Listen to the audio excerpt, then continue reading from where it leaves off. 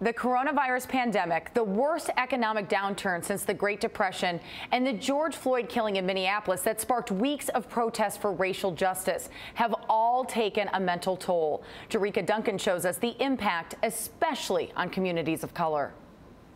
I knew that I needed help um, or that I wouldn't be here much longer if I didn't receive help. The coronavirus nearly took the life of 17 year old Cameron Lagon and she doesn't even have it. But fear, anxiety, and isolation caused by the pandemic deepened her chronic depression. I tried to overdose, and uh, thankfully it did not work. What's going through your mind when you find yourself in a depressed state?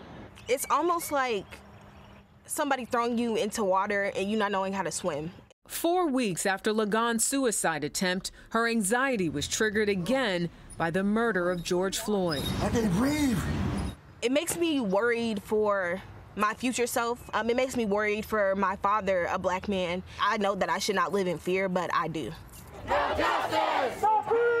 And she's not alone.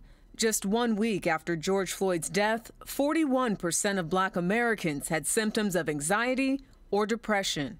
Mental health is not one size fits all. Fonda Bryant says she once attempted suicide, but now she tries to prevent it, teaching others the warning signs. She says the legacy of slavery and Jim Crow laws has scarred many African Americans for generations. It's just about every day that someone is reaching out to me from across the country asking me for resources or how do I get help.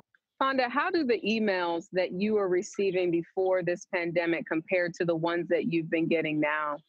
You can hear that panic, you can hear that sense of urgency in someone's email or in someone's voice. It's like they're already in a state of crisis. Bryant helped Lagon move forward. She's now headed to college in the fall with a new mission. I know that my calling is to help others and heal others, um, my family as well. Helping others as Bryant helped her to choose life. Jericka Duncan, CBS News, New York. Such important work. Jericka, thank you.